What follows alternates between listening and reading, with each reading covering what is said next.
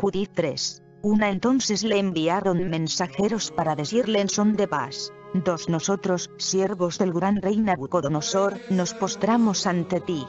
Trátanos como mejor te parezca. Tres nuestras granjas y todo nuestro territorio, nuestros campos de trigo, los rebaños de ovejas y bueyes, todas las majadas de nuestros campamentos, están a tu disposición.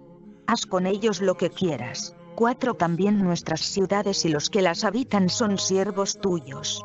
Ven, dirígete a ellas y haz lo que te parezca bien. 5 Los enviados se presentaron ante Holofernes y le comunicaron estas palabras. 6 Entonces él bajó con todo su ejército al litoral, puso guarniciones en las ciudades altas, y les tomó los mejores hombres en calidad de tropas auxiliares. 7 Los habitantes de las ciudades y todos los de los contornos salieron a recibirle con coronas y danzando al son de tambores. 8 Él saqueó sus santuarios y taló sus bosques sagrados, pues había recibido la orden de destruir todas las divinidades del país para que todas las gentes adorasen únicamente a Nabucodonosor y todas las lenguas y todas las tribus le proclamasen Dios. 9 Llegó después frente a Estrelón, junto a Dotán, que está ante la gran sierra montañosa de Judea. 10 Acamparon entre Quevalles y Tópolis y se detuvo allí un mes, haciendo acopio de provisiones para su ejército.